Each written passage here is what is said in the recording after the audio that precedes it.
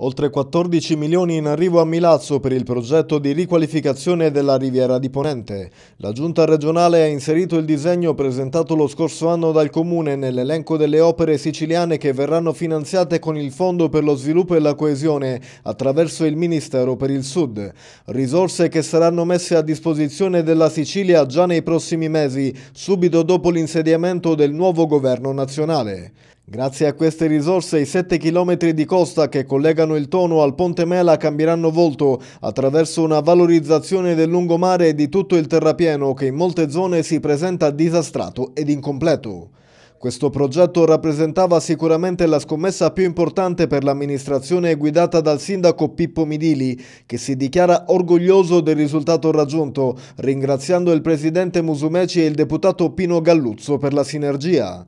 Il progetto divide la Riviera di Ponente in quattro aree tematiche interconnesse, l'area culturale, quella verde, la zona mercato e l'area sportiva.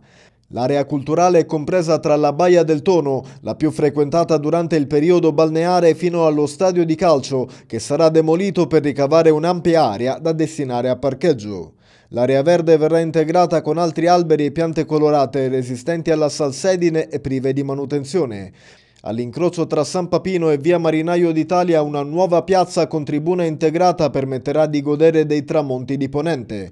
Il vecchio palazzetto dello sport verrà sostituito con un impianto sportivo polivalente.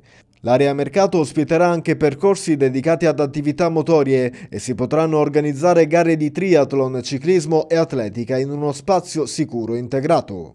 Oltre al vecchio palasport previsto anche lo spostamento del campo di calcio Marco Salmeri e dell'area del poligono di tiro a segno di via Tucori, per la quale l'amministrazione chiederà al demanio militare di individuare un'altra sede. Insomma, una vera rivoluzione sulla quale l'amministrazione punta per rilanciare il settore turistico.